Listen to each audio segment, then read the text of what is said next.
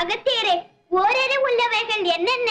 புல் பூண்டு மரம் செடி கொடி முதலிய தாவர வர்க்கங்கள். ஈரறிவு உள்ளவைகள்? தண்ணீரில் வாழும் ஜீவராசிகள். மூன்றறிவு? நிலத்திலே ஊர்ந்து செல்லும் எறும்பு கரையான் நத்தை முதலியன. நான்கறிவு? பறந்து செல்லும் பறவை இனங்கள். ஐந்தறிவு? மண்ணிலே நடந்து செல்லும் ஆடு மாடு மற்றும் விலங்கினங்கள். ஆறறிவு? மனத்தினால் எதையும் நினைத்து பார்க்கும் சக்தி உடைய மனிதனே ஆறறிவு படைத்தவன். இப்படி எதையும் நினைத்து நீங்கள் உங்கள் இலக்கண நூலை அரங்கேற்றுவதற்கு முன்பு தங்கள் ஆசானை வணங்கி ஆசி பெற்ற பிறகுதான் இங்கு வந்தீர்களா?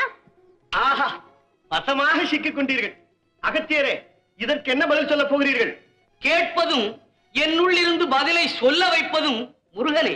அந்த வித்தையெல்லாம் இனி பலிக்காது. உங்களுக்கு குருவாக விளங்கும் முருகப்பெருமானிடம் முதலில் ஆசி பெறாமல் இங்கு வந்தது குற்றமா இல்லையா? இதற்கு பதிலை சொல்லுங்கள்.